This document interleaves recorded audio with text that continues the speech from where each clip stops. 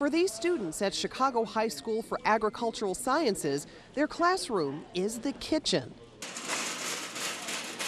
Since Monday, they've been preparing early Thanksgiving dinners for about 350 senior citizens who otherwise would not get a home cooked holiday meal. Love it, sir. It's an event in its 10th year, back in person for the first time since the pandemic. During this season of giving thanks, you know, we want to bring people together, and so we're so excited to be able to be back in the gym this year. These students, mostly juniors and seniors, have been hard at work prepping the meals, getting tips from a professional, Chef Diego Burgos. They're doing a great job. The, you could tell they really have a passion for it. Student Ayana Mackey says it's hard work, but she enjoys it.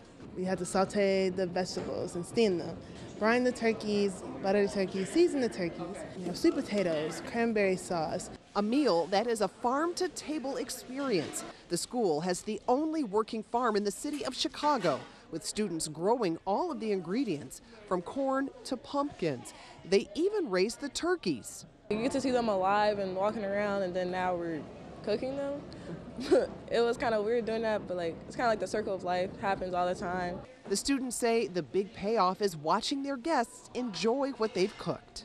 I can't tell you how many times I hear, you know, uh, I'll hear a senior say, oh, when I was in high school, and, and then, or ask them questions and, and vice versa. It's just the interaction between the seniors and our students is, is, is what I think it's all about. Students also set the tables in the gym, decorating them with these centerpieces made by horticulture students that the senior citizens will get to take home. But there's a bigger takeaway for everyone, giving thanks for the chance to get to know someone new. Hey, if you like that video, be sure to subscribe to our ABC7 Chicago YouTube channel.